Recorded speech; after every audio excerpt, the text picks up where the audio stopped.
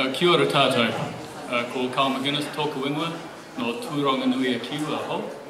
E kai mahi homo tu papa o Tūroa, e roto, e te wāhanga, kai whakahaere papa atu pai. Well, greetings all. Uh, thanks for coming here. I'm Carl McGuinness. I'm the Director of Conservation for the Nature Conservancy here in New Zealand. Uh, fantastic to see everyone here for the uh, mahi tahi on the shellfish restoration and in particular uh, the Hauraki Gulf's uh, big goal of 1,000 kilometres squared of shellfish beds and reefs restored. It's around 8% of the marine park. Um, I'll facilitate through the session, so we've got a couple of uh, awesome talks coming up.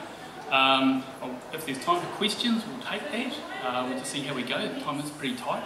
But then there is a great interactive se uh, session at the end of this. Uh, we really do want to uh, harness your brains, as was mentioned before, get you thinking and looking around the challenges, um, or even if you agree with that goal, um, around the 1,000 kilometres square, which we'll then take back to the more plenary session afterwards. So the Forum has recommended this goal under its statutory function to make recommendations to its members and to facilitate communication cooperation and coordination. When we think about how we might achieve this goal, it's important that we think about all aspects of the challenge. For example, to simply look to restore historic shellfish beds in the locations they once occurred might not always make sense given the environmental conditions we now witness in the Gulf. And while we might naturally focus on the actual final step of reseeding and replenishing shellfish reefs.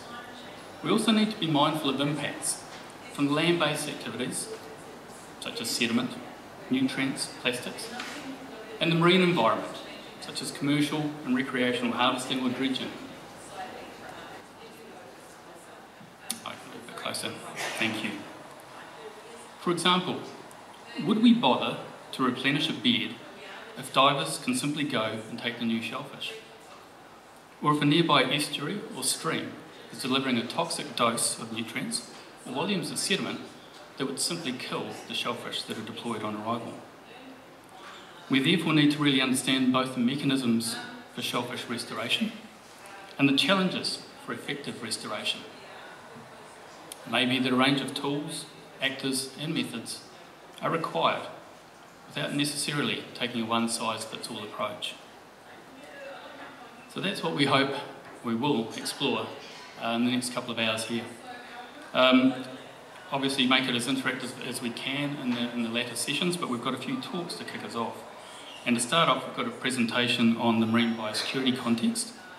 And um, we have Kathy Walls, Michael Townsend, and we have Mike, uh, Mel Tupe uh, filling in for um, Samantha Happy, who um, sadly couldn't make it uh, due to another commitment at late notice. Um, just quickly run through each of the presenters there with a brief overview. So Kathy is the Senior Advisor with Biosecurity New Zealand, MPI, a position she has held since 2009.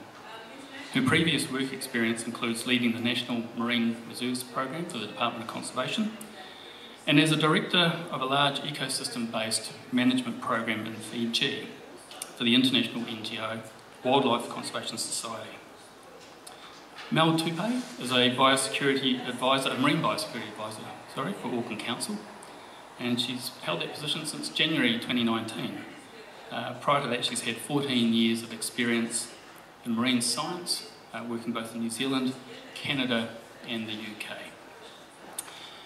And Michael Townsend is the team leader for coastal science at Waikato Regional Council, where his team conduct research exploring the health of coastal ecosystems and monitor the state of the environment.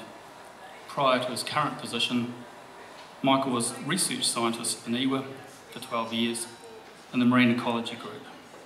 Can you please join me in welcoming Kathy, Mel and Michael?